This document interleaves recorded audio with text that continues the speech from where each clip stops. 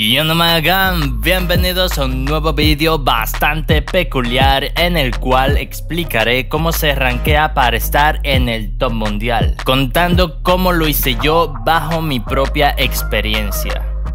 Vamos a ello.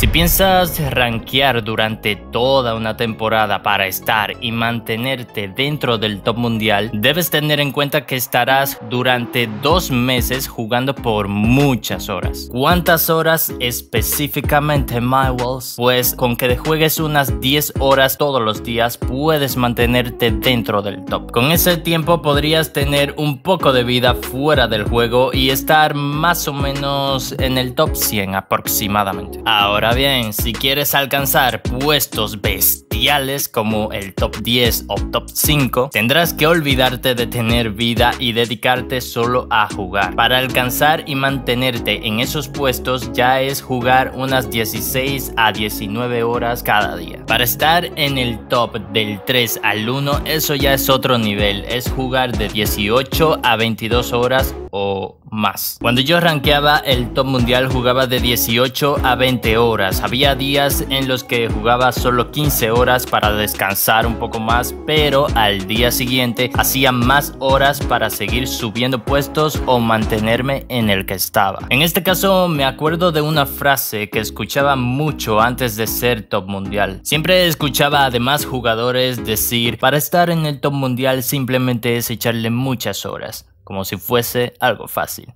Sí y no. Para mantenerte dentro del top mundial no es solo echarle horas de juego. Lo más esencial de esto es ganar el 98% de las partidas. De nada te sirve jugar durante 15 horas y que de 50 partidas que hagas solo ganes 5. Así no llegarás a ningún lado. Ya que para escalar puestos necesitas tener más puntos que los demás jugadores y esos puntos solo lo consigues con las victorias como se pueden dar cuenta en mi historial de partidas de aquel tiempo, ganaba la mayoría de ellas. Quizás perdía unas 4 o 5 de todas las que jugaba. En Alcatraz ganaba prácticamente casi el 100% de las partidas. Cuando ranqueas por estar en el top mundial, debes olvidarte de cuántas kills haces por partida. Si haces pocas o muchas, eso no importa. Debes jugar a ganar, debes jugar safe. Eso es lo más importante. Si te haces una 20 kills en una partida,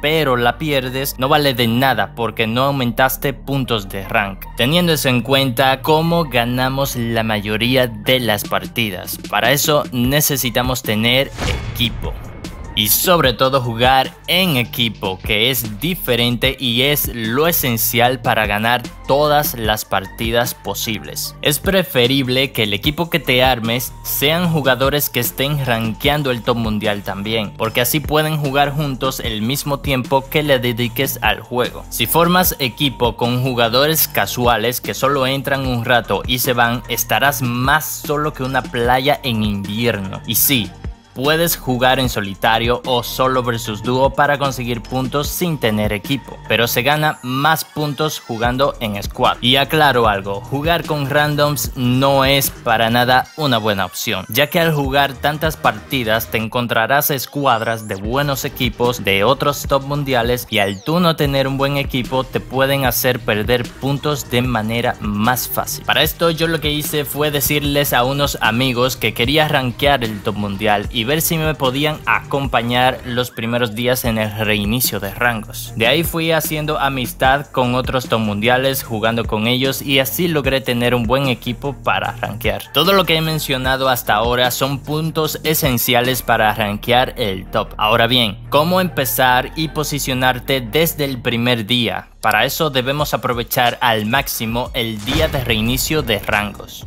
El cual sucede cuando llega una nueva temporada de Ranked. La hora exacta de este reinicio varía en cada país. Por ejemplo, en mi país el reinicio de servidores o en este caso el reinicio de rangos sucede a las 8 de la noche. Esta hora es importante tenerla en cuenta ya que para posicionarte en el top mundial desde el primer día de reinicio de rangos debes empezar a jugar inmediatamente ocurra el reinicio y si quieres empezar un paso adelante que los demás puedes empezar una partida 10 minutos antes de la hora de reinicio de rangos. Así cuando acabes la partida que normalmente duran unos 15 a 18 minutos ya los puntos que obtengas con esa victoria contarán para los puntos nuevos de Ranked, ya que el reinicio estará sucediendo mientras juegas, así tendrás puntos primero que los demás. La primera noche es donde debes esforzarte más, si puedes llegar a leyenda el mismo día en que se reinician los rangos, mucho mejor. Así cuando te vayas a descansar unas horas y vuelvas, seguirás dentro del top.